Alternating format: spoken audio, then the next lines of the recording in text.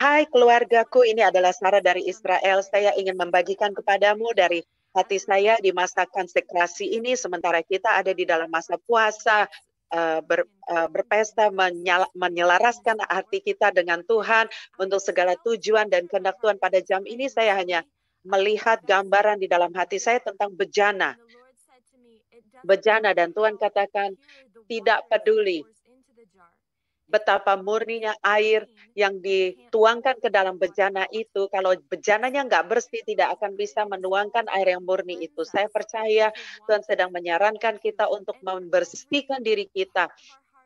Eh, dan setiap bagian di dalam hati kita, setiap ruangan, setiap aspek, supaya kita menjadi siap untuk bisa menerima airnya seperti air yang murni itu, yang segar itu, yang siap dan tidak akan terkontaminasi yang tidak akan menambahkan rasa atau memutarbalikkan di dalam segala uh, sikap yang duniawi. Tetapi kita mau sepenuhnya menjadi bejana yang telah dipisahkan dan dikuduskan untuk bisa mencurahkan air yang murni itu kepada dunia di sekeliling kita. Dan bukan cuma telinga yang kita persembahkan untuk mendengarkan firman ya, tapi juga uh, perkataan kita, pikiran kita, dan tindakan kita, di mana keputusan kita menjadi prioritas kita.